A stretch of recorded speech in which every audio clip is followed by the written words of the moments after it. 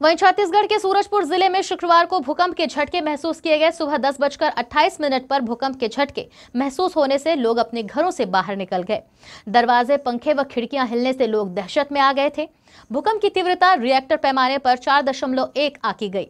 भूवैज्ञानिक के अनुसार सूरजपुर के भटगांव से 11 किलोमीटर दूरी पर भूकंप का केंद्र था।